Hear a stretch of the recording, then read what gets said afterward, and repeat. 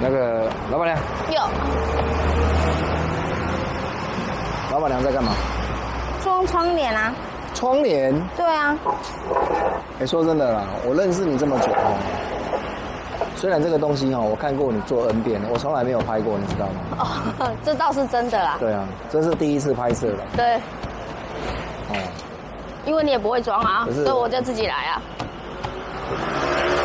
这个这个店是老板娘开的，那大叔有时候哈、请假的时候就是来帮他干嘛？来监督吧，什么监督？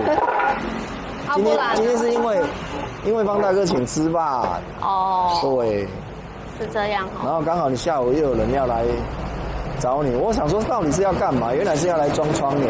对啊，好了，刚好拍一下啦。这是老板娘的的什么日常啊，日常？对，每天呃没有每天都要做，可是偶尔哎，但是会有人请我帮他但是。我刚刚看他这个不是已经有窗帘了？他可是因为他觉得，因为他买那个窗帘会，他说他弄了下雨天会漏水，为什么会漏水？我也不知道啊，没有装好。我不晓得。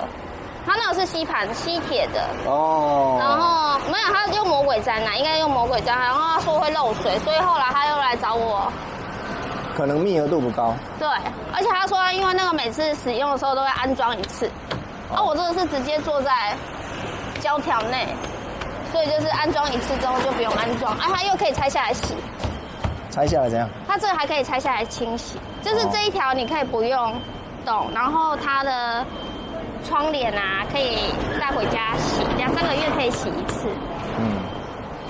嗯。所以很方便，就对。对啊，它装后面，啊前面它有另外再叫我帮他定做一个双层的，因为双层的我是客人要才定啊。啊，像这种海力士，它只有讲穿了，它就只有侧门跟跟尾门而已，对啊，所以它两个就可以解决。可是因为前面我们大部分都做那个纱网而已，嗯，一般都做纱网，没有做做双层。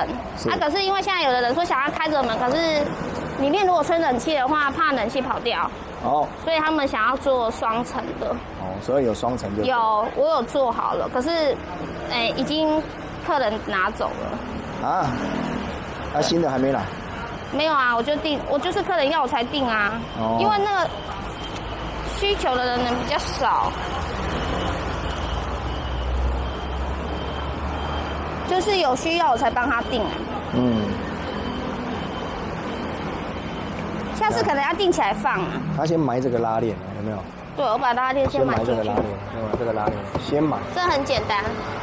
哦，先把它埋好之后，嗯，怕蚊虫的人一定要装了哈。对，像为什么老板娘的车不装？我的车尾门可以装，蚊子会咬我。五点到七点才上班。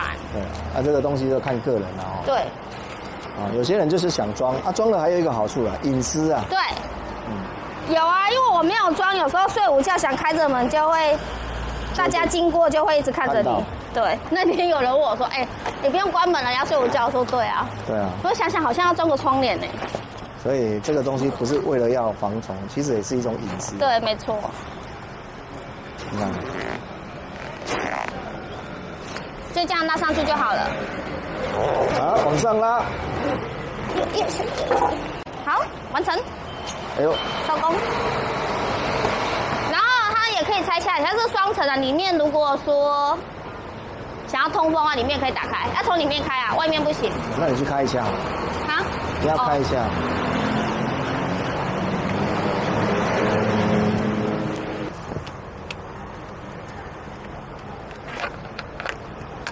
从里面开，